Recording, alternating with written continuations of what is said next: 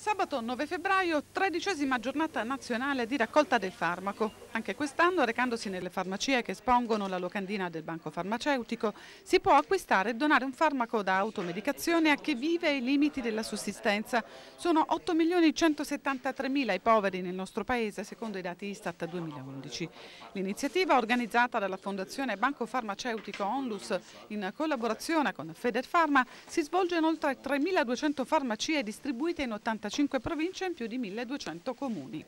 A beneficiarne saranno le oltre 500.000 persone che quotidianamente vengono assistite dagli enti caritatevoli convenzionati con il banco farmaceutico in tutta Italia.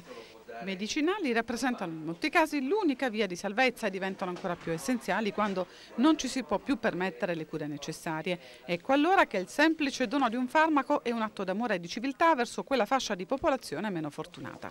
Vediamo com'è andata a Taranto. E noi oggi abbiamo avuto eh, l'accoglienza calorosa e, e, operosa della farmacia Castellaneta.